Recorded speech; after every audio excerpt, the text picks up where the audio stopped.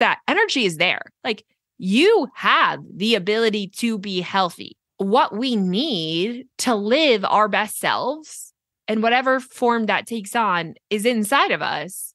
It's just understanding not necessarily how do you add to that or take away from it, but how is the energy that you have being altered? This is the Made for Living Well podcast, hosted by Alexa Schirm, the place to create a life well lived.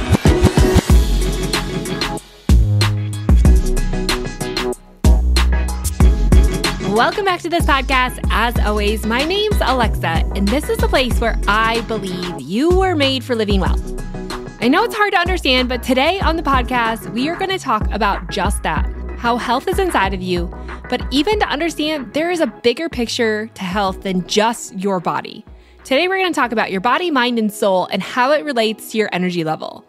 I'm so excited for today's conversation as it goes with the monthly theme for the 2023 planner, and that's all about how to get more energy. Now, I know everyone struggles with energy, but you do not have to.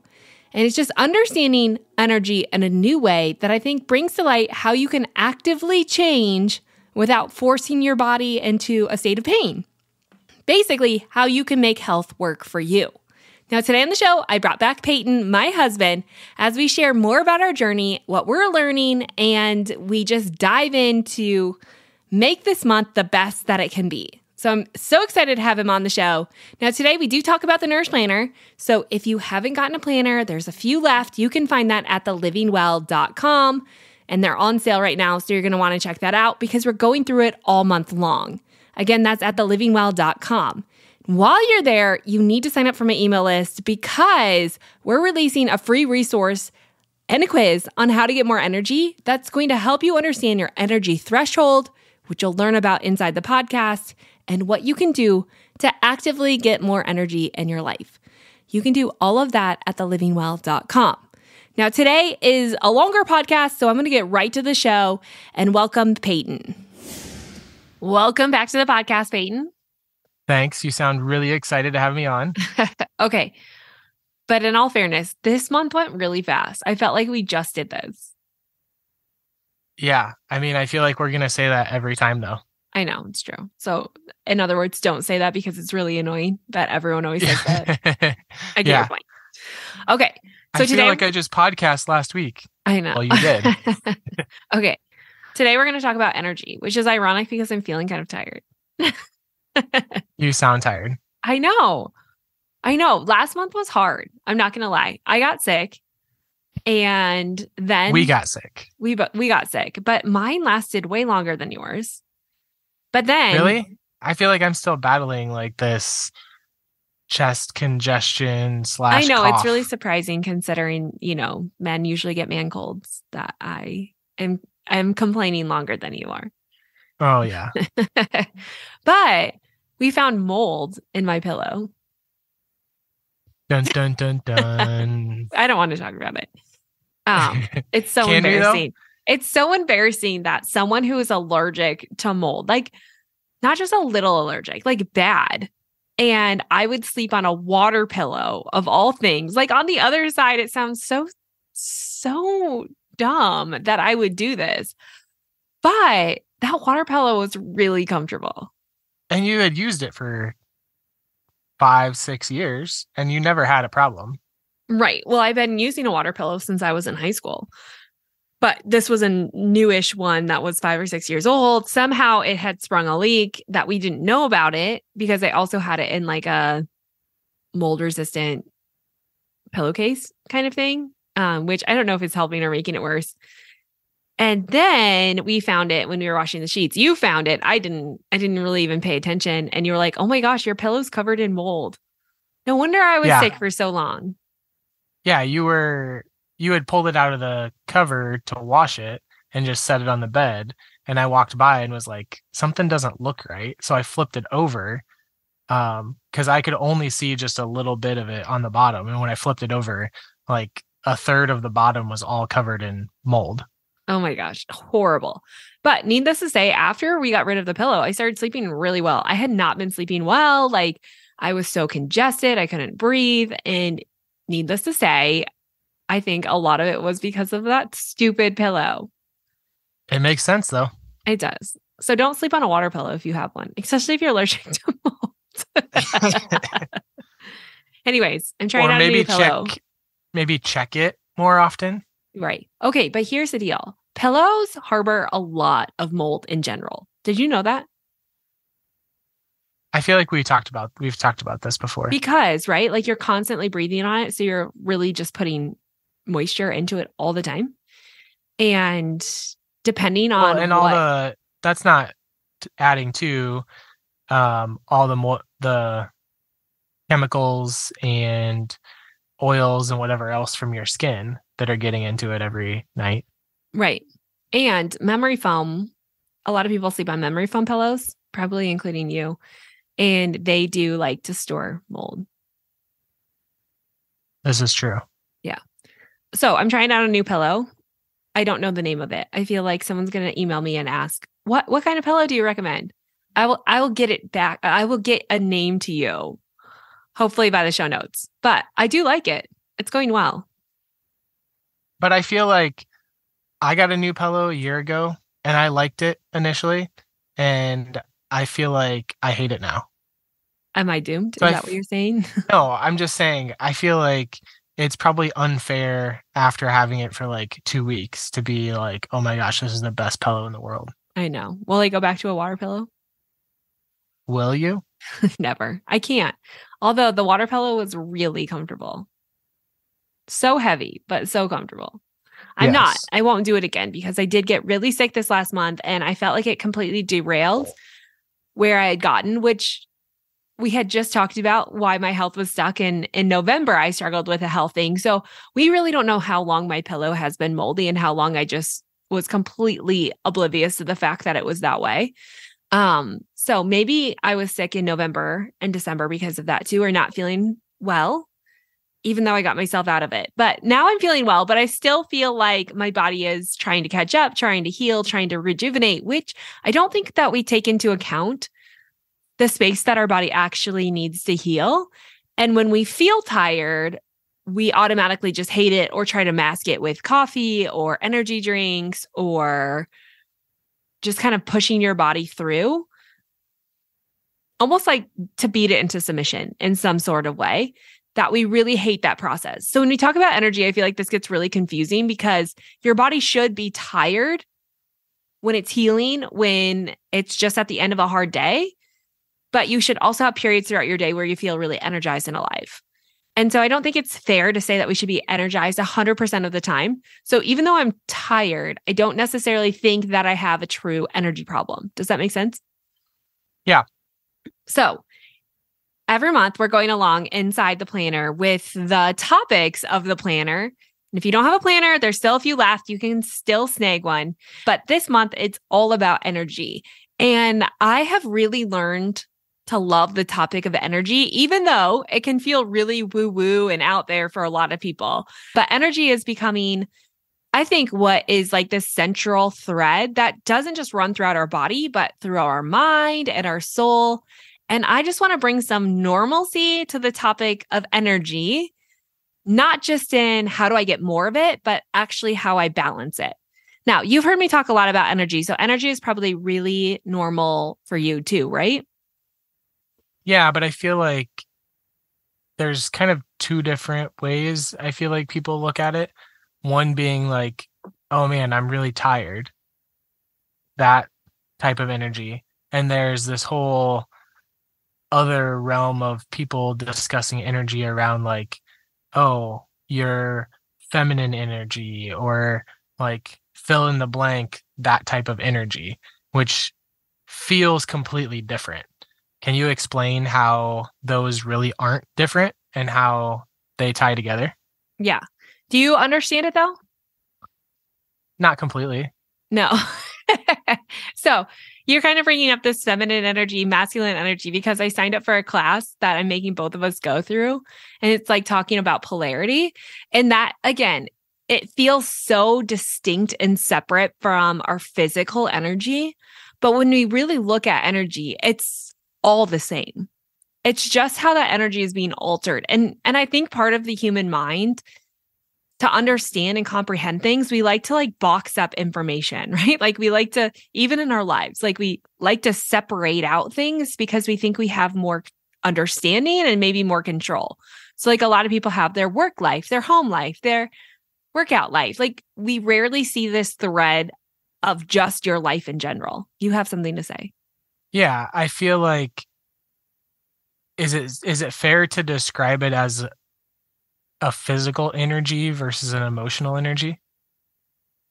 Because I, I, feel mean, like so many people when they they're like, I'm so tired, I need caffeine to get through the day, like those types of discussions around energy, that's like a physical energy. But I feel like there's a whole nother emotional component to it that is really easy to ignore. Or like you said in the beginning, it feels really woo woo or out there, like only the crazy people talk about that. Yeah, but it's easy to ignore, but it's all the same energy. I know. But I'm saying I feel like so many people only recognize it as like physical energy. Oh yeah, yeah. Like but think about emotional like, component to it is something that isn't as um as talked about. Right. But if you want to link them together, just like think about the last time you were really, really exhausted. How was your mental capacity? It's usually really singular focused. It's almost right. like you're um you go into survival mode. You you can't like think outside the box. You probably can't have a lot of thoughts. You're probably not willing to engage someone in a lot of conversation. I mean, mentally you're maybe not in a negative state, but I wouldn't necessarily say that you're overly engaged mentally because you're so physically exhausted that you also don't have the mental capacity to really drive the mindset component. So does the physical energy drive the emotional? I mean, I think you're asking for the chicken or the egg, right? Which came first? Is that what yeah, you're looking for? Maybe. I I don't think that there is I don't think that we can say which one comes first because I think we can be exhausted on both ends of the spectrum. Like you can get yourself mentally exhausted and physically exhausted. But if you're looking for like a percentage, I think our mindset or our mental or what they call emotional energy is a much larger percentage of our total energy. So there's like estimates that say about 70% of all of our energy actually comes from this emotional state. So let's say like you're really physically exhausted at the end of the day. But if you have, like, if you're coming home and you're eating with your family and you're laughing and you're having a good time, that's going to boost your energy. So you're not going to feel as depleted as if you come home from the day where you're physically exhausted and then you're beating yourself up or you get into an argument with your spouse or the kids are crazy and you're just overwhelmed. Like your mental energy is going to deplete you faster than even the physical energy. So our mental energy, we know, accounts for the majority of our total energy. Like you can be completely physically exhausted, but physically exhausted is very different than emotionally drained. Yeah, which is also why when you are physically exhausted, you can push yourself through that. Right. If you have the right mindset. Yes. If mm-hmm. your emotional energy is high enough that you can push yourself through more physical pain. Mm-hmm. Um, so yeah, no, I see what you're saying. It's not, it's not that one necessarily leads into the other, but both lead into each other, and you can deplete, you can deplete one which affects the other. Yeah, it's like the last podcast that I had on with Nisia, and she was talking about like the mental side of it and how she's a therapist, right? And she, if you haven't listened, go back and listen. But you listened to the first part so far. I don't think you've listened to part two yet. But where she basically was saying like she was trying to do all this therapy with people because she's a psychologist by trade. She works more in the mindset space, but she was realizing like she just couldn't get anywhere because their bodies were living in survival mode not just mentally, but whatever's happening inside of our mind is happening inside of our body. And what's happening inside of our body is happening inside of our mind. It's this continuous loop that, yes, we can alter on one end of the spectrum or the other. But really, if we neglect one for a long period of time, we're never going to make progress in the other area. So, what I appreciated about her was to say, like, if you're really going to do the mental work, like, if you're really going to work on healthifying your mind, you can't do that without also working on your body, without also supplying the needs that your body has to produce the energy so that your body can do the job of healing, rejuvenating, um, releasing some of those stored emotions. Like we have to be in a safe environment for our body to do that job. And I think that we neglect, like when we look at energy as a whole, energy is all the same spiritual energy, emotional energy, physical energy, it's all the same. We can segment it off to make ourselves feel better and try to have some control over that, but they're all running together. And this is really how our entire system works and why we're not just a body, but we're a soul in a body. And we're not just a mind, but our mind is inside the body that also has a soul. Like they're all connected. And when we start to see that connection, I think we can start to realize okay, energy is easier to understand than these segmented boxes we try to micromanage. I feel mm-hmm. like I was going somewhere with that and I lost my train of thought in the middle of that.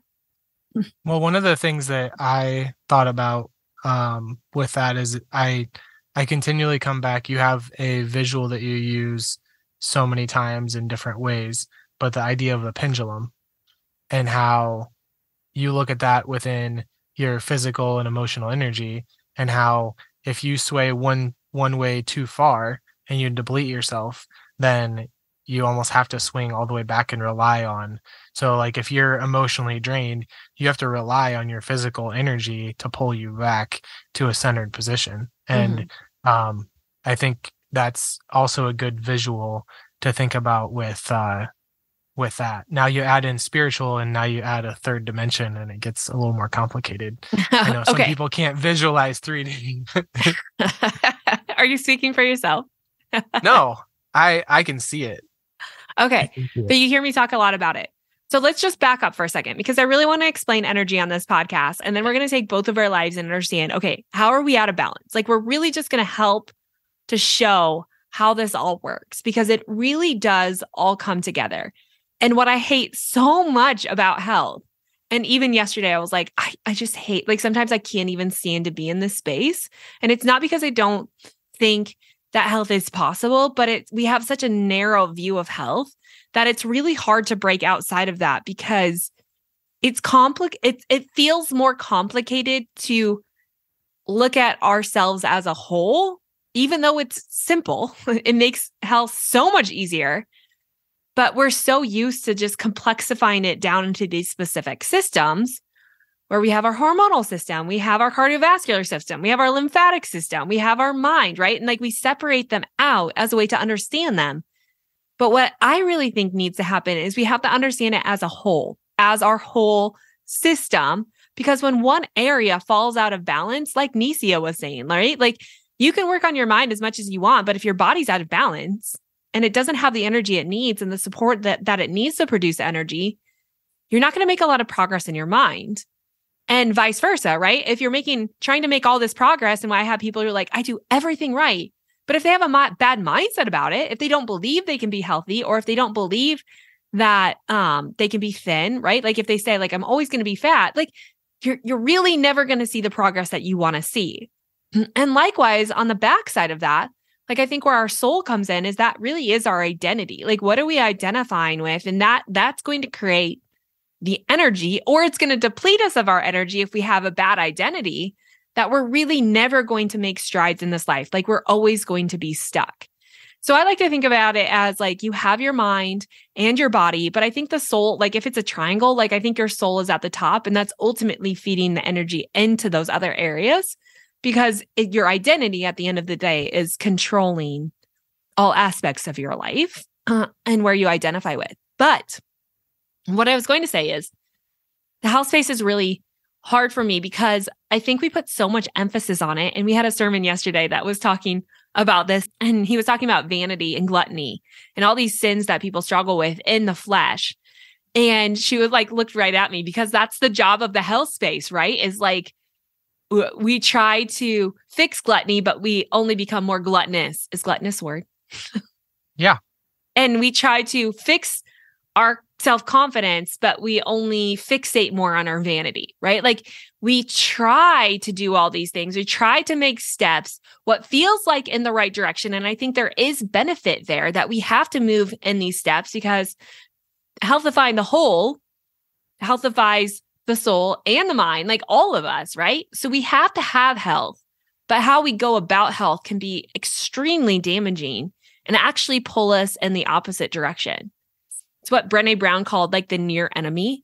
Like the near enemy of health is maybe diets, right? Like you think you're doing all these right things, but is it really just pulling you further away from what it actually means to live healthy? And so when we look at all this, like, yes, I wanted to leave the health space. Sometimes I have a hard time talking just about the body. And why I'm so passionate about energy is because it combines all of it together to recognize you can't just healthify one area of your life without healthifying the others. Like they all go together. And when one is out of balance, they're all going to fall out of balance or they're going to try to compensate. And eventually that's going to pull you out of balance if you don't help to foster and support the whole of who you are. I give this analogy in a project that I'm working on. And I'm not an electrician, but you've helped me understand this because you took a lot more physics than I ever did. yeah. But like a light light socket, right? Do you remember when I was writing about the light socket and and a mm-hmm. light bulb? Like there's yep. numerous wires that it takes in order to illuminate a light bulb. Like it's not just one wire that if you hook up to the light bulb or the light socket, it's automatically going to illuminate your bulb.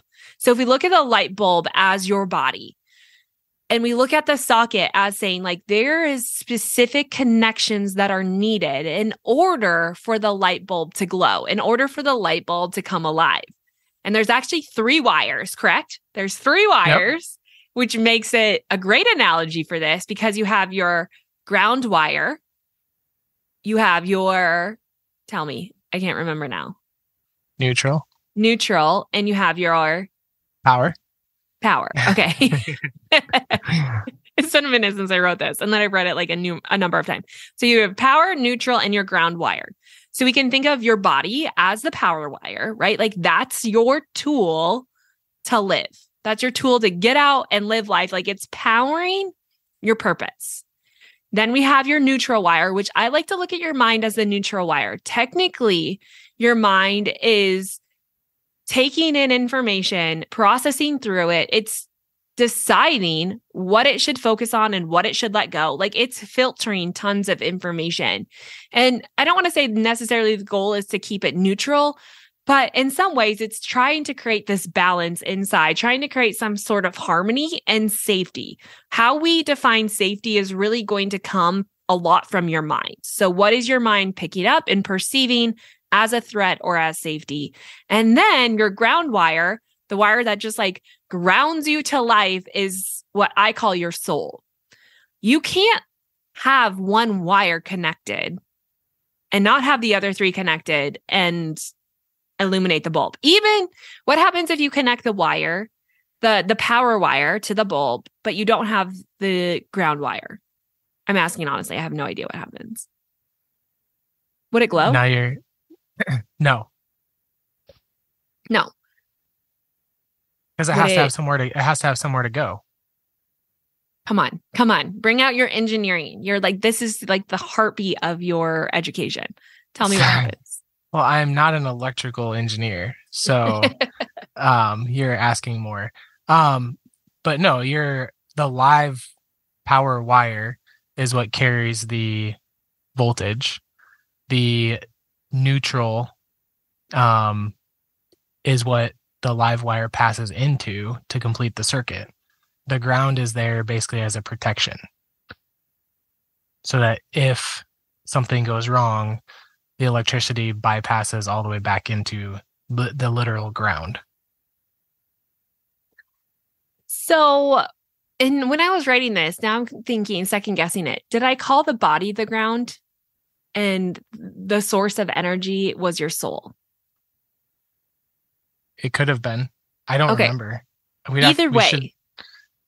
it yeah. doesn't I mean, either way, you get the image, right? The um, someday I'm going to like actually explain this in a way that makes sense. Maybe by podcast number six that we do together, we can actually yeah. do this. well, But- I'll uh, I'll brush up. I'll brush up on things before, and we'll uh, we'll hash it out before we. this uh, is out of my scope of practice. But either way, both of takes- ours, please, please remind. This is not mine either. Okay. But it takes all three. And without one, it doesn't work, even if there's power coming in. And I think it's such a good analogy because I think we so often miss the health of our mind and the health of our soul, just chasing the health of our body. And the body matters. Like, don't get me wrong, it greatly matters. But so do the others. Like, we have to understand that the others matter too. And so, when we look at the body as a whole, we see energy moving from the body into the mind through the soul. Like, it's just this continuous loop. And so, if one part of us is out of balance, we're naturally going to be depleted. So, say for instance, we have people who are constantly emailing me saying, I've done everything right. I don't know what's why it's working or why it's not working. I'm gaining weight. I've been doing all this stuff. And and part of it is, okay, you might be doing all the right things in your body, but what's the health of your mind like? Like, what are you focusing on? Where is your hope? Like, what are those identities that you're going to cling to? and those belief systems that are really creating the outcome of your life. So, when we talk about energy, I think it's really important to understand that all energy is the same, whether it's mental energy, spiritual energy, again, um, emotional energy, whether it's the energy that lights a light bulb, right? Like we use energy all the time. It's just hard to understand the energy is the same that's inside of you. But even when we look at like the nervous system, right? It's electrical impulses that are being sent that are controlling all of the movements that are being able to allow us to speak, to have thoughts. Like all of that are electrical charges that are being sent through our system. We just don't talk about it a lot, other than saying, I literally have no energy. I'm tired all the time. What can I do about it? But even tired and exhaustion is a common trait right? Like if you're not tired, are you really working hard enough? Are you really, you know, climbing the ladder? Like the whole busyness thing that we live with. But all of the energy is the same. It's not necessarily what you do with it, it's how it's being altered. Explain your last comment. So all energy is the same. It's not it's not gaining more. Like what I want to try to understand, because I think when we look at energy inside of our body, again, it's either we're so tired, we're exhausted all the time, or we also tend to calculate energy. So it's like how, you know, the secret to weight loss is consuming less than you burn. But that equation doesn't work, not long term. It might work in the short term, which is why people have done it for decades. But in the long term, it doesn't work. And the reason it doesn't work is because that's not how energy works. It's not about just adding and subtracting energy out of your body. And when you feel depleted, it's not to say energy isn't there. Energy is always there. Like, I don't know much about physics, but I know the first law of thermodynamics states that energy is neither created nor destroyed, which means we do not have the ability to add or subtract energy, not like we think we do, right? Like, it's not like, oh, if I just don't add energy to my body through all this food, then I'm going to deplete my body of energy. And therefore, I will force my body to burn weight to produce energy. I'll force my body to burn fat to produce energy and I'll lose weight. Like that's what we think. But the first law of thermodynamics refutes that statement to say energy is neither created nor destroyed, but it's only altered. And this is where I think things really change and why I like this concept so much because it states that energy is there. Like you have the ability to be healthy. Yes, you might have a disease or symptoms, or um, you might have been born with a genetic condition. Like I get our idea of what health is, it's going to be very personal for each of us. But what we need to live our best selves and whatever form that takes on is inside of us. It's just understanding not necessarily how do you add to that or take away from it, but how is the energy that you have being altered?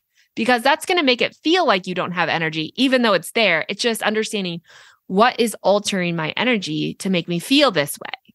Well, and I think too, if you go back to the formula of what I eat minus what I burn, um, as long as that's in a deficit, then I will lose weight.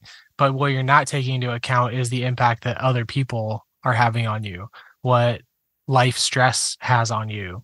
Um, if you have a deadline at work, if you have um, a young baby that gets you up multiple times in the night, like that simple calculation doesn't take into effect the emotional toll that a lot of those other things have on you, which depletes you of energy. And so I think it's been too simplistic to just look at it as um, a plus and a minus and just an easy calculation. And that's, I think, what you're trying to help people see is there's so much more involved in this that you need to consider um, within living your life than it is just hey, as long as I eat this and I work out and do this, then X will happen. Mm-hmm. Right. Because that might work for the short period, but eventually the body is going to become like when we pull our body out of balance from that. And why I like the idea of the pendulum is to show it's not about adding or taking away energy, but it's about creating this balance and energy and the whole of who you are. Because when you pull yourself out of balance so long, your body eventually has to compensate for that. That creates this space of unsafe. Like it creates this threat inside your body. And I think the missing component, I don't think science shows us that the missing component to the equations of calories in equals calories out or this equation of energy is actually what you just said. It's it's stress. And I think that is what is going to determine how our energy is being altered, whether we're stressed or whether we're not stressed. Now, yeah, there are other factors in our in our life like circadian rhythm. And a couple weeks ago we talked about um, intermittent fasting and new science on intermittent fasting. Like when you eat is going to change what your body does with that. It's going to alter how your body uses that energy. But that also comes back into say whether it's in a time of stress or whether it's in a time of safety. So stress is going to be like that other extra bit inside that equation that really defines what your body is going to do with the energy that you have and the energy that you're being influenced by. And I think we can say, well, stress isn't something that we can actually measure, which true, right? We, we all are feeling stress in different ways, but what is going to be a threat to you is far different than what's going to be a threat to me.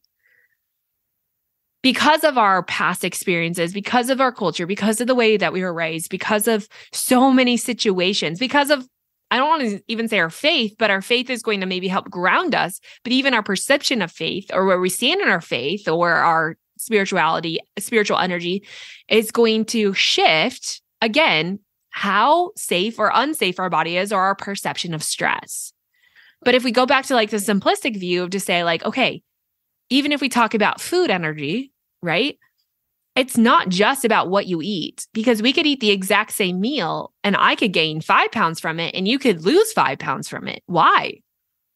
Like there's actual research to show this that they take groups of people and feed them the exact same diet and some people will gain weight and some people will lose weight. Why? Why does this happen? Genetics, hormones, all those things that we could say. But yes, at the end of the day, they're all running based on the level of stress inside your system and the level of stress that you can handle. And so it really comes back to how is that supporting your energy or altering your energy in a positive or negative kind of way? Not to say that you can add or take away from it, but how it's showing it. Is it co- coming out as external energy that you can use to live? Or is it suppressive energy that makes you tired and kind of go inward and start to feel like there's threats all around you? Am I making sense? Yeah. So you talk a lot about energy fills and energy drains. Mm-hmm. Um, which one do you feel like you have more control over? I think you have control over both. However, I feel like Maybe we should step back and explain energy fills and energy drains. Yeah. So if we go back and look at this picture of health, right, we can say, okay, it's energy is being altered, which means it's not about adding energy. Like you're like if you're tired and you like to guzzle caffeine in the form of iced tea, you probably just like iced tea. I don't think you're doing it for the caffeine. Yeah, I just like it. Yeah. There, but there's people but who, there may but there may be an underlying um subconscious thing going on that's like, oh hey, this brings me caffeine even though I don't recognize that I need that or that I crave that, but it might be that my body is like, hey, you should drink this because you're actually depleted on energy and you you think you need this stimulant to make up for that. Right. It becomes an addictive. I mean, we know caffeine is an addictive substance. And I think it is because our drive for energy is the number one mechanism that's going to prove whether we're in a safe or unsafe environment.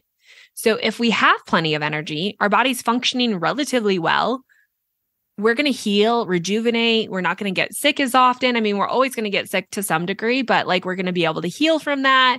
Um, we're going to feel energized. Our mind's going to work well. Like all of these things are going to go well. And I think when we start to feel little bits of that high energy state, even if it's from an artificial form like caffeine, it creates this dopamine rush that makes us feel really good. And that feeling that you feel good is addictive, right? Why do people do drugs? They don't necessarily just walk themselves into saying, like, I'm going to be a drug addict because that's what I want to be.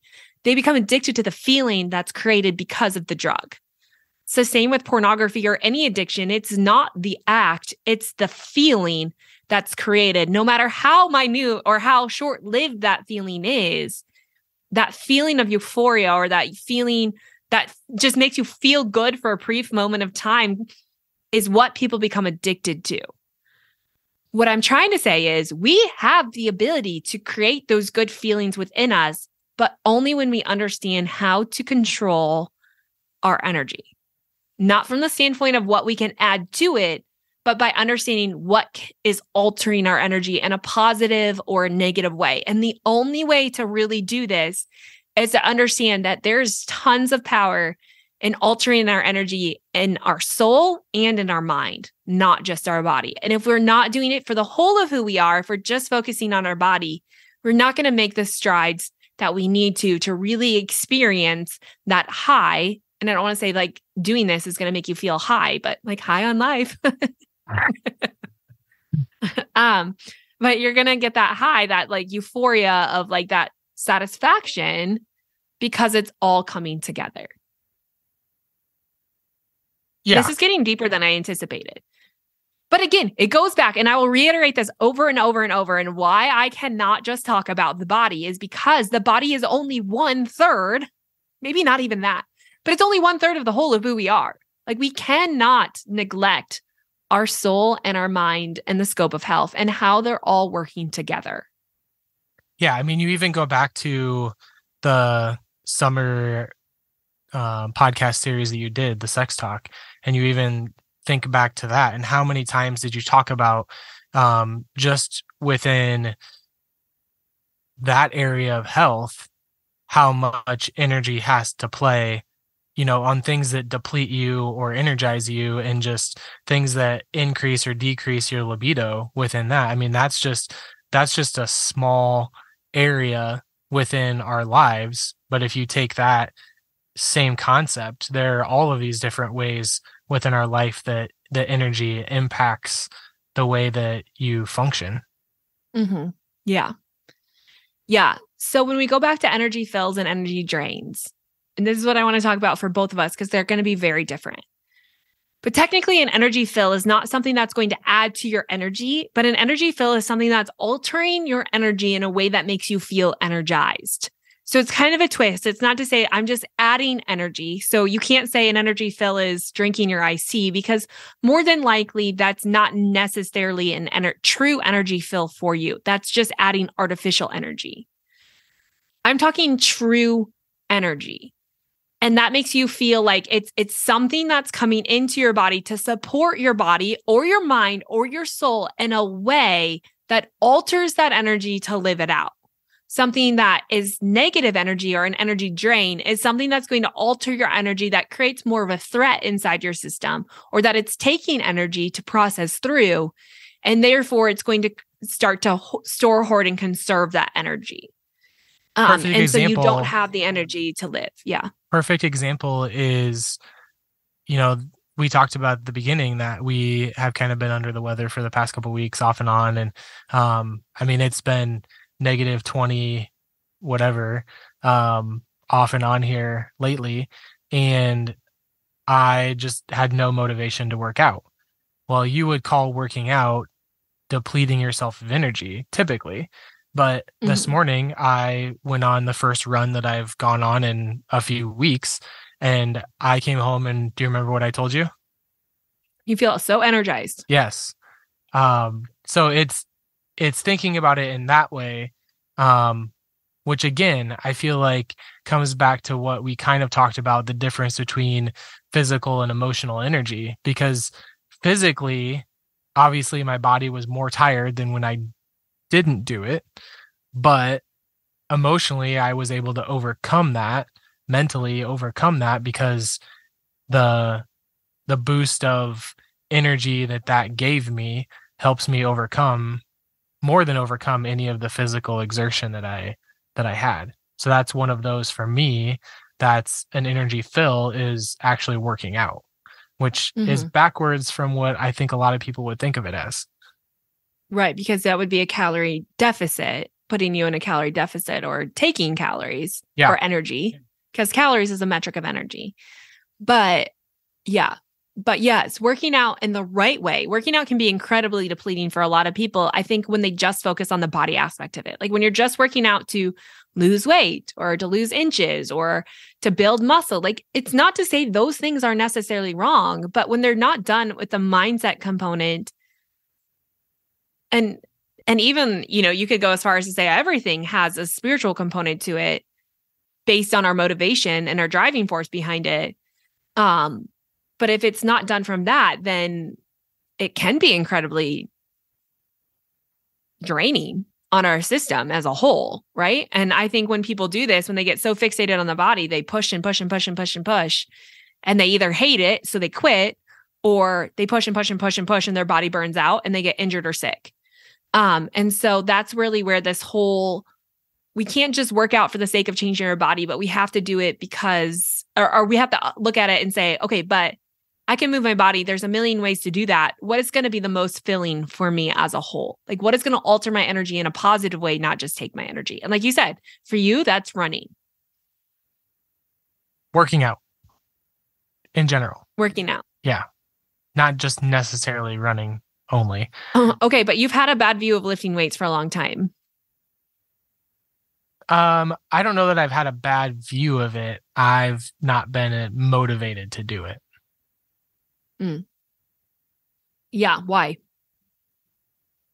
I feel like it was always something that I did with groups of people, like whether it was in athletics or when you own the gym, it was always group classes. It was always like a group setting. And I feel like I I kind of need that external motivation to do that, which is why I feel like I've done better with running because I've been running with other people and that has helped me be more consistent. It's it's way more difficult, I feel like, for me to text somebody at 5 a.m.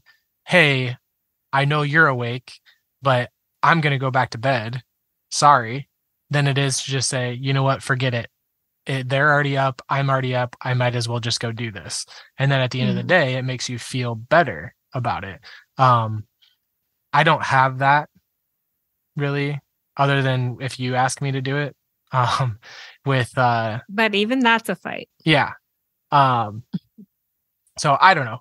But one of one of the things um I was gonna say as an energy drain for me, and then I'm gonna ask you about Are you changing the subject? I am. is uh for me an energy drain, which again you would think this is opposite, is overeating. Mm. Like you think the more the more you take in, the more energy you have, but I feel like it's easy for me to overdo it to the point where my body just gets sluggish.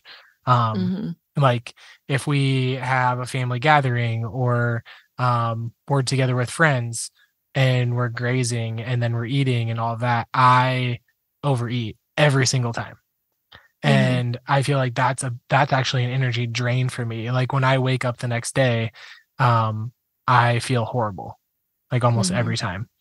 Um so here you have something you would normally think, which is working out. You would normally think, well, that depletes your energy. And I here I'm saying that actually gives me energy. And here I'm saying eating, overeating is something that normally you would think, oh, you're intaking more energy. If you go back to the calories in, calories out, like that means my calories in, um, you know, that's that's more energy in, but it actually depletes me of energy. Um, because my body is like, what the heck are you doing to me? But Yeah. um, what about you? Well, I want to go back and- and okay, I'll say that and then okay, Okay, uh, I'll answer your question. Um, I'm a really good interviewer because it usually keeps the focus off me. right. energy Um, fill and then an energy drain. yeah. So I think for me, one of my biggest energy fills and why I again stress it all the time, but like soul care to me is so important because I think that is such an integral part about what I believe and my identity. And like it switches my focus from the threats of life and brings me back into a, a healthier perspective. So for me, like reading and praying and getting in the word, like, you know, my faith is so important in keeping me filled. And honestly, I don't know how people really live filled without it. Um, and so that to me is something like on the days that I do and don't do, like spend time with Jesus and like feeling like I'm in that I notice a huge difference because it changes and alters the way I think. And that is going to change how I feel. So for me, that is a huge energy fill. Um, also moving my body, but I feel like there are things that I do that move my body that actually fill me, and there are things that I used to do that to move my body that drain drain me. So like things I love, like strength training, I feel like that is so filling for me um, even HIIT workouts, walking, but running is a massive energy drain. And and it didn't used to be that way, but then you know I got sick and I had all this stuff. For whatever reason, energy just pushes my body into a state of depletion, even if I try to have the right mindset about it. Like I just can't ever feel good after I do it, and I want to, but you know it. You you've seen me. I swell like. For whatever reason, that is a massive energy drain to my system. So I've just cut it out. Like I just don't do it and I can do all this other stuff. Um, And you try to you try to do it every so often, thinking like, oh, maybe I'm well enough now, or maybe you know things have changed. But you always keep coming back to that for whatever reason that we have yet to figure out. right. And I think it shows again that harmony between the body and the mind. Like if one area makes it feel unsafe, it's going to be unsafe because I've done all the mindset work to make myself feel like I really do like it. Like I really do like the act of running, but for whatever reason, my body is a threat on my system and it just leaves me drained. And my body, it takes a long time for my body to recover from that. And so for me, it's just an energy drain and it's not worth it, at least not at this point in my life. And so Mhm. I, I do, there's plenty of other ways to do that. I will say you are very good about being intentional with the things that you know that fill you with energy. Yeah. Like, I think it was you, because I, you will go on multiple walks in a day if you're not feeling well, just because you know if I go do this, it will make me feel better. And another energy fill you did not mention is uh, taking a bath Mm. or baths, multiple in a day. but you're you're very intentional. I mean, the number of books that you've already read this year is more than I feel like I've read in the last two or three years. Um, taking baths, going on walks, um, doing those things are intentional things that on an on an every single day basis you are doing all of them if not most of them for sure. And Mm. that's that's something that is you're very good about being intentional with knowing this fills me up, so I'm going to do more of it. Mm. Yeah. I still struggle. I feel like when I like to make people understand that, that I'm not perfect in this, I am very aware of my body. And I think it was because I got sick. And and when I got sick, I realized I was really sick because my body was depleted in all forms of energy. Like I was just down, you know? And my healing wasn't just adding all of these medications. My healing was like, okay, you're going to learn how to support your energy and I learned it from a great physician and like chiropractor and and she was amazing at teaching me like the body aspect of how to support your body with energy and I'm very aware of when I'm starting to fall and when I'm out of balance and um, that took training though. Like that took me just paying attention and that's really all it is.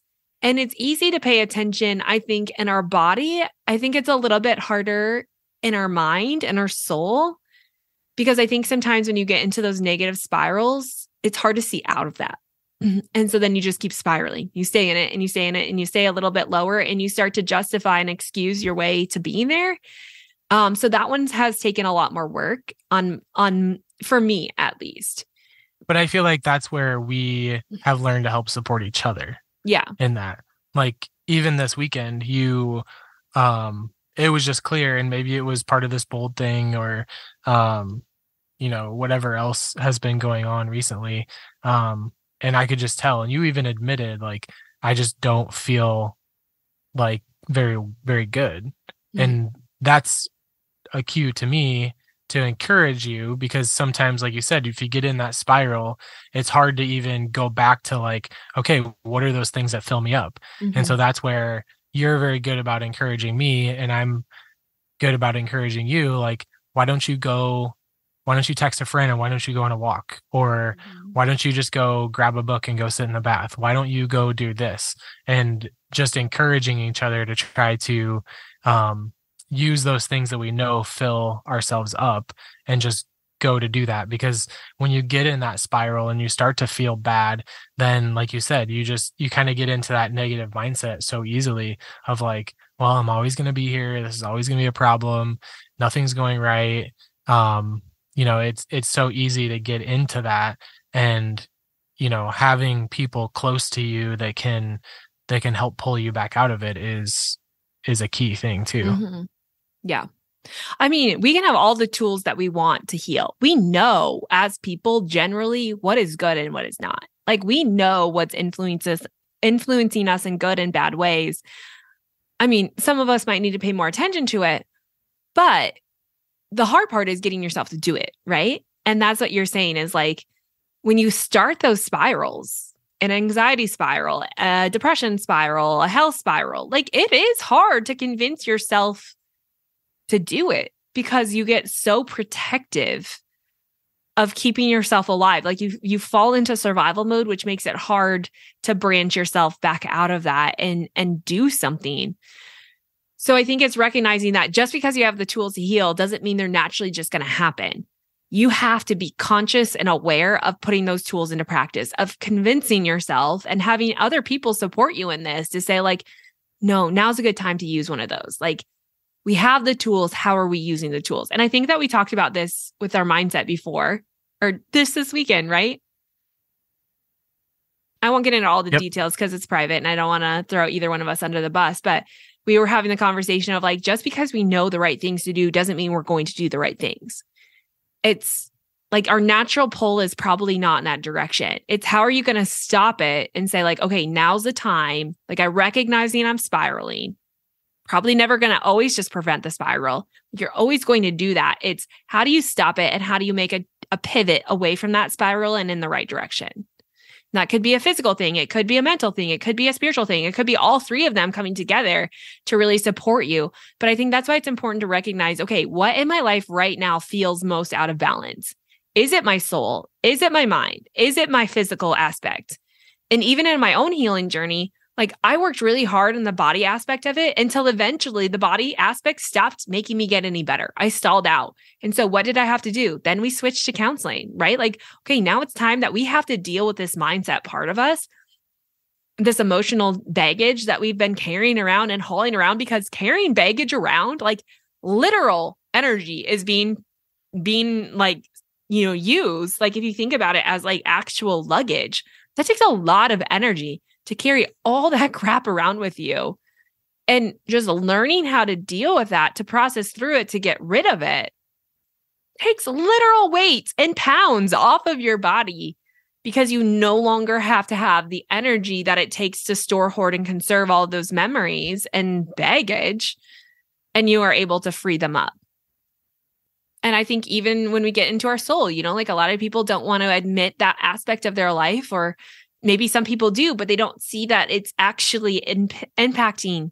We know how you think, but how you think is impacting how your biology is running you know it's impacting how you view the world and the people inside your sphere and and what your purpose is and that is really impacting the whole of who you are maybe even more so again why i would put it at the top of the triangle than just your body and mind alone so i think it's recognizing okay what in my life right now feels most out of balance it's not to say that you're going to put all of your eggs in that basket because you can't healthify your mind without adding support to your body and your soul. You can't healthify your soul without both of those categories but it's it's putting the emphasis there while also knowing that in the process you have to be doing these other things to really boost that as well but what are you going to focus on? Like what in your life feels most out of balance right now for you? I was thinking about that when you were talking about it and one of the things that i was going to say is i think it's really easy to get trapped in this like oh my life feels out of balance but actually identifying what that is yeah. because so many things are intertwined mm-hmm. that i feel like it really takes time sitting down and evaluating what really is the root of it that i think that's probably the step that i have avoided taking mm-hmm. lately to actually identify what that is. Um because i feel like i'm really quick to say like man our life feels really out of balance. But identifying exactly what's causing that is something that i have not done. Right. And that makes a world of difference because it could be something really small that makes a huge difference like when you say my life is out of balance it feels like so overwhelming that where do you even start yes is it even possible and then we just don't do anything, right? And then we just sit here and like kind of sulk and let it be a threat to our life, which is going to constantly perpetrate like this cycle that is just everything's always out of balance and you just get well, stuck and there and so many people are stuck there. And then it's so easy to it's easy to justify and come up with excuses of like oh man we're just so busy we're you know hauling kids around from this and that and we're gone every weekend and you know, man, woe is me. We have all these all these things that we do, but at the end of the day, that's having a negative attitude and a negative mindset towards those things too. Mm-hmm. And so I think it's also evaluating not just the things that are taking your time, but back to like what is taking your energy. Mm-hmm. Because things that might be taking your energy are actually a choice for you to have a negative mindset around them um like we like we talked about for you running is an energy drain for me it's an energy fill for some people going to counseling might be an energy drain. For other people it might be empowering and it might fill them. Um and i think sometimes you have a choice. Sometimes you can make a choice to have a have a different or a better perspective around things to actually flip that to take it from an energy drain to an energy fill. And I think that's probably one of those things in my life that um, I tend to focus more on uh I have to do this again instead of oh I get the opportunity to do this. Mm-hmm. Yeah. Yeah, we have the ability to change our perspective about everything. And next month, I think, is talking about how to healthify your thoughts. So, we're going to talk a lot about how we change our perspective and change our thought process. But we can, like, we can completely. And I even think about looking at things as energy fills and energy drains rather than is it healthy or is it not? Helps you to see it for yourself. And it helps you to recognize that just because it might be an energy drain for me right now doesn't mean it's always going to be that way. Maybe it will, but maybe it won't. And knowing that our body has the ability to change and why I love the idea too of like the energy threshold, which I talk a lot about like in the bank account area of like an energy threshold is similar to a bank account.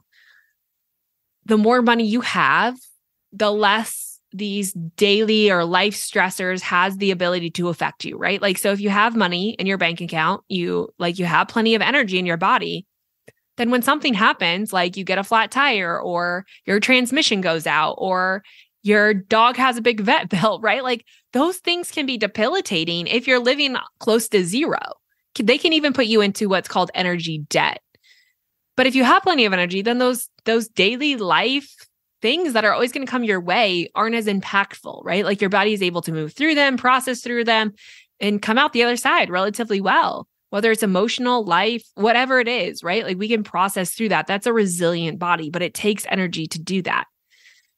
On the flip side, the closer you get to zero, then you're kind of teetering on this energy threshold where you might have the energy, but you're pretty close to that survival mode, which is energy debt. When you have to start relying on credit to help you out, to sustain you.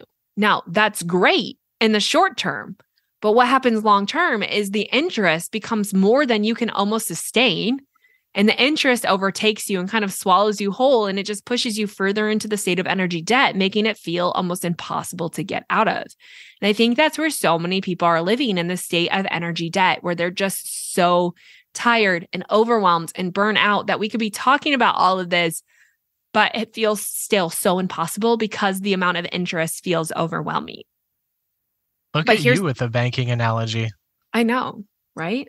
I'm impressed. I have so many analogies today. I uh I don't know that I've heard you say that. Really?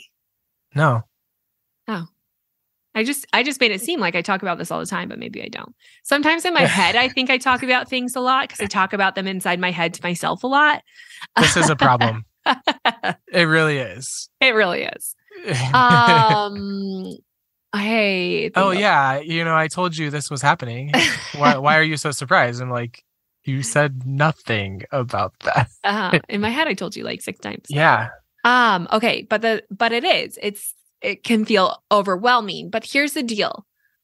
It's not as difficult as we think to get out of energy debt and to pay off that interest, but it does take time and it takes support, right? It's just like paying off credit card debt. You have to be a little bit more cautious, right? You have to put a little bit more work into it.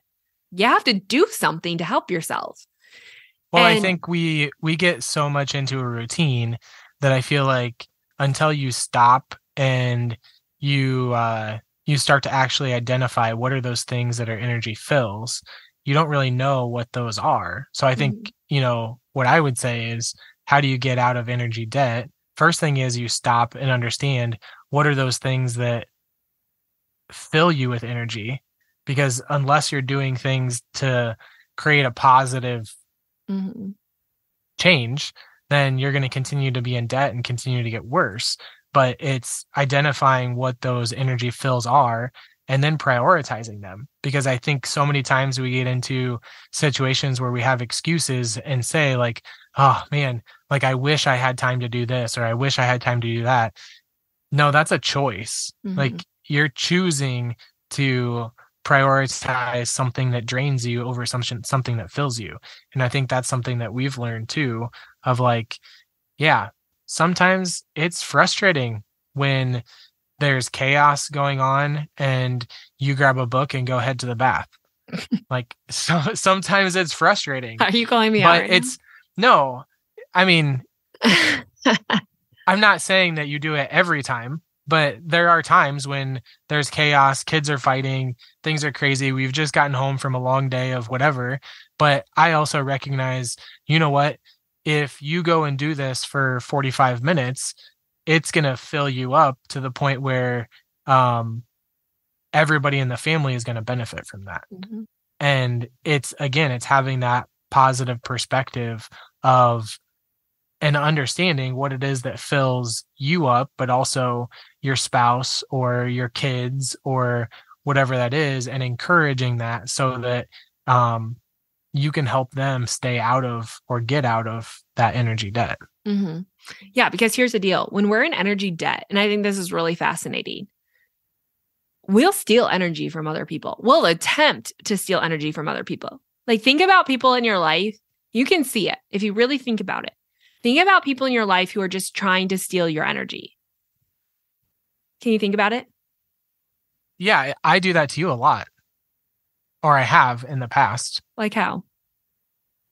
Um like if I'm really stressed or anxious or um overwhelmed, I will tend to self sabotage and in a way like get you to try to pull me back, which for me, like that's me trying to take your energy, trying to say like I need you to pull me out of this instead of just figuring it out on my own.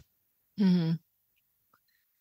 Right. Yeah. We uh will do it by pulling trying to pull people to our level, which makes we're trying to even out energy, right? Because energy is constantly being exchanged. And you can feel when you walk into a room with someone who's functioning at a lower energy, you can feel that if you're functioning at a higher energy, right? Like if you walk into a room with someone who's really angry or eh, sad or just hopeless, and, and we can exchange energy with them by giving them a hug, by talking to them. The part that's hard for a lot of people, and something that's been really hard for me as someone who I consider myself more empathetic, um, is giving. It's helping to boost their energy without giving their your energy. Because we talk about like the cup overfilling or the cup, eh, my cup is empty, right? Like and a lot of people are working from these empty cups. And then we're just looking like we're thirsty for energy. And so we're going to get it in all the wrong places, right? Why people become addicted and they tend to hurl insults at other people. But here's the deal we can be people who can help those people without them stealing our energy. We have to learn how to protect our energy while also filling them up.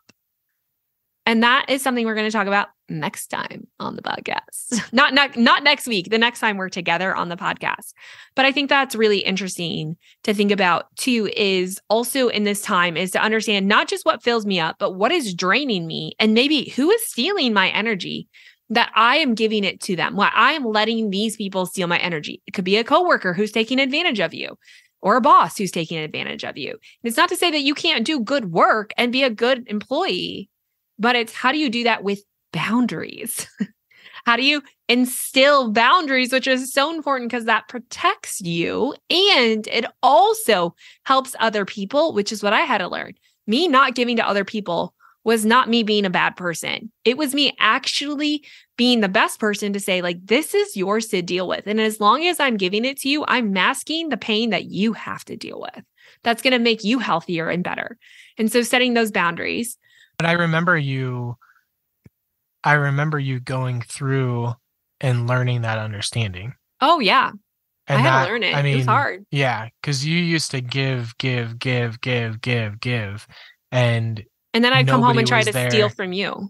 Yeah, nobody was there to fill you up, mm. and and then uh, yeah, you tried to steal from me, and that's not a safe place mm-hmm. within a marriage to to be um and so that was something that you you had to learn how to give to other people without them taking from you mm-hmm.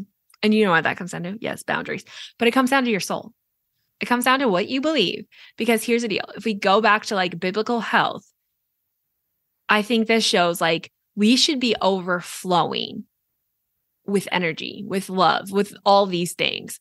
But so many of us are just living with our glass half full because we're trying to fill the glass. Meanwhile, we're letting everyone poke holes in that. But even if we have holes being poked in us, like if we're being constantly filled ourselves, we have plenty to go around.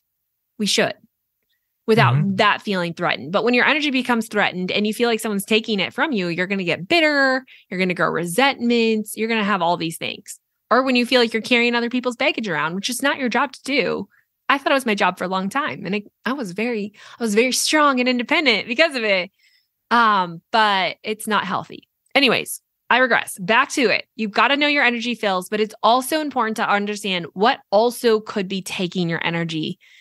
And it could be your own mindset. You could be your own worst enemy. Is it just the thoughts that you have throughout the day? Is it um, what you believe? Is it what other people have told you? Like, is it your drive to work. Maybe you need to mix that up. Maybe it's what you listen to. Maybe it's social media. Like there's tons of things that could be stealing our energy or draining our energy that we're just, it's so normal in our everyday that we don't pay attention to it.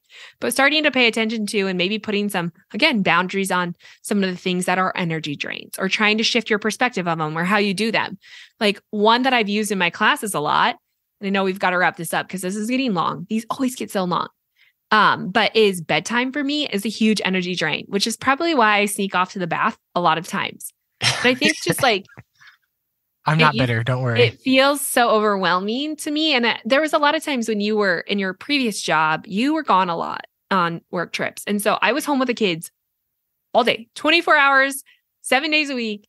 And I felt like I didn't get a ton of breaks some of those times. Plus, when your kids are little and they're waking up at night, there's a lot of layers to this, but bedtime can be really stressful. One of the things that I learned is like that can be an energy drain to me. But I'm constantly thinking, okay, I can't change that. Like I still need to, and I want to put my kids to bed because I know how important it is. How can I do that in a way that also fills my tank? So, like last night, like I might take a bath before it's actual bedtime and just prepare myself, or I might take a bath after bedtime that's going to refuel my tank. So I kind of do that either either end of the spectrum depending on what time we put them to bed. But like last night, like I sat in bed with them and mom reads her book, you read your book cuz they're in chapter book phase and like I don't need to listen to them read a chapter that they're going to read at home and then go to school and read three more and I can't keep up with that, right? So it's like I sat down and I read a book and just being together in the same space. You're better about listening to them read that's really hard for me. Sometimes I'll read out loud to them. So trying to find ways that you can change your view and your perspective of some of these energy drains that do make it more filling. Anyways, okay, okay. we've really got to wrap this up. Oh, what were you going to say? No, what I was going to say is so what's the action would you what action would you say just one thing mm-hmm. one thing that somebody needs to do out of this other than going and buying a planner because we're going to be going through all 12 topics from yeah. that planner the rest of this year. Um what what is that action that people need to take um to be able to actually make a change with this? Because that's that's the goal. I mean we don't want you to sit here and listen to us for an hour or however long this has been um going through this and not actually have it make a difference. So what what is that one thing that you would say somebody should go after this and do? Right. I think it's just pay attention to how you feel. How much energy do you have? Even having it rated on a scale of 0 to 10, 10 being I feel great. My body's functioning well. And you can look at this as your mind, body and soul, but you can just look at it as the whole of who you are. When you understand that and you start to pay attention to what is altering my energy in a good way and a negative way, you start to gain more control over your life because then you have the ability to say, like, okay, this is really draining me. I can delegate it. I can get rid of it. I can change my perspective about it, or I can do an energy fill that's going to come back in and try to rebalance that. So that would be mine is just right now, this week, start to pay attention to what is, where is my energy falling and what can I do to change that for the better? Not just add in all this energy, but really creating that balanced energy. Because if you have way too much energy, which we're going to get to, if you want to learn more about energy, we have an entire thing coming out this month, a free quiz that you can take all about energy. If you're not, if you want to be the first to know about it, get on the email list, the weekly fill over at thelivingwell.com. But inside, I'm really going to teach you okay, here's where you fall on the energy threshold. Here's how you help yourself because some people are going to be like, I feel like I have so much energy, which comes out in the form of anxiety. It can come in the form of jitter, jitters. Like there's lots of things. It's not, we don't want too much energy either. We want the balance energy. And so I'm going to teach you how to balance your energy inside that based on where you're starting from, because we can always change. Um, but it really does begin with pay attention to your energy. And if you want to get more specific with it, pay attention to the energy like how is the energy of your soul how's the energy of your mind how's the energy of your body like where do you feel energy drains and energy fills within those And ultimately, how can you do more things that fill you up? Life is always going to drain you. Like it always is. We don't need to be worried about draining our own energy as much as we do about just filling ourselves, because in the process of filling ourselves, we're going to create balance. Thoughts? Oh, here's the one thing I feel like I am out of balance in my body. I feel like I've done so much soul work, so much mind work. I feel like those are really great, but I feel like this is the year, and I kind of mentioned it last time, where I feel like I'm really creating, recreating balance inside my body of like, I, that is really where I'm putting a lot of my focus. And not to say I'm putting a lot of focus on my soul and my mind. Like I'll always do that work, and that takes constant work. But I now need to come back in and recognize okay, there are things in my life that I'm doing to my body that are not filling it. Um, they're just old patterns that are are normal, but just because it's normal doesn't mean it's healthy. Okay, what about you? Where do you feel most out of balance? Your mind, body, or soul? I think my body as well. Mhm. Um, We've both done a lot of soul and mind work the last yeah, four years, five years. But the one thing I was gonna say when you talk through your action steps is I feel like the biggest thing is just being willing to observe Mm-hmm. your surroundings. So the more um the more you observe how you feel when you do things or when other things happen to you or when other people um maybe talk to you or whatever then you can start to realize and understand what it is that fills you and drains you Mm-hmm. and I feel like whether you keep a note on your phone or you have a journal with you, like as those things come up, just start to jot those down. I feel like that's just the quickest, easiest way to just over the course of the month of February, just spend time um continuing to develop the list of like here's what fills me here's what drains me and then again start to focus on um what it is that fills you and then those things that drain drain you try to look at how can you have a different or better perspective going into those so those aren't pulling your energy away um, but that you're kind of freely giving um, or having just a different better perspective around that Mm-hmm. Yeah. Okay, so good. We talked a long time again, but I'm going to wrap that up and hope that everyone starts to have an understanding of what energy is and why it's so important, even in the scope of health. Why you can do everything right, but it night might not work. And it's because your body and mind and soul are out of balance. And we have to balance all three in order to truly achieve the health that we're looking for. Plus, life isn't just about health, right? It's about using your health to live your purpose. And that's really why I'm here because I believe you were made for living well. And that means using your health to live your life. Okay, that's it for today. We will be back next week talking about how to healthify your mind. But in the meantime, we have a lot of great podcast episodes coming out this month. So stay tuned for those. Don't forget to grab your Nourish Planner at thelivingwell.com. Sign up for the email list and make sure you can get that free quiz that's going to help you start to implement this in your everyday life. It really is going to help you because that's what I'm here for. Okay, that's it for today. Peyton, thanks for being on again. yeah You have see you 10 more of these to do. yeah Yay. Okay, we'll and just to, to guys clarify you said we will be back next week you will be back next. I week will be back next I week. will not. You will not be back until March. yes Okay. see ya See ya. Bye.